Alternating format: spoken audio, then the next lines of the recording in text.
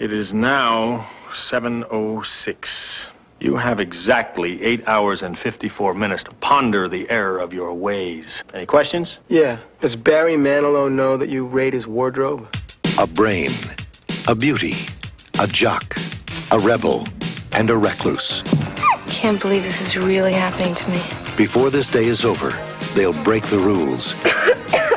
Chicks cannot hold their smoke. That's what it is. bare their souls, I'm a nymphomaniac. Are your parents aware of this? take some chances, Being bad feels pretty good. huh? and touch each other in a way they never dreamed possible. Why'd you do that? Because I knew you wouldn't. The Breakfast Club. They only met once, I don't want to be alone anymore. You don't have to be. but it changed their lives forever. I mean, I consider you guys my friends. I'm not wrong, am I?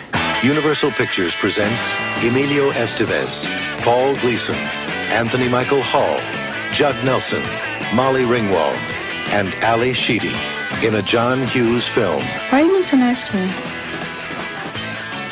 Because you're letting me. The Breakfast Club.